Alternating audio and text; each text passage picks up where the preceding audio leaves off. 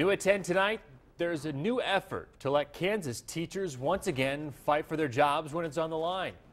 But the legislation introduced by a Wichita lawmaker has its critics.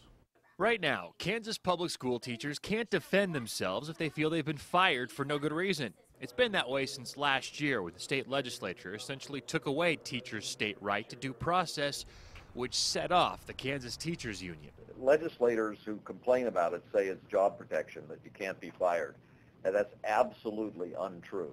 Now, State Representative Brandon Whipple has introduced new bipartisan legislation The purpose of this bill is to make sure our kids in Kansas get a quality education. that the Democrat says would better protect teachers trying to help students. What this does is it makes sure that when a teacher advocates for a, one of our students in Kansas, even if advocating for that student is unpopular, that a bad administrator can't fire them without cause. Whipple's bill has its critics, including State Senator Michael O'Donnell. I don't believe we need to go around telling the school districts or cities across the state of Kansas or counties across the state of Kansas how they need to hire and fire their own employees. They know those individual issues far better than we do in Topeka.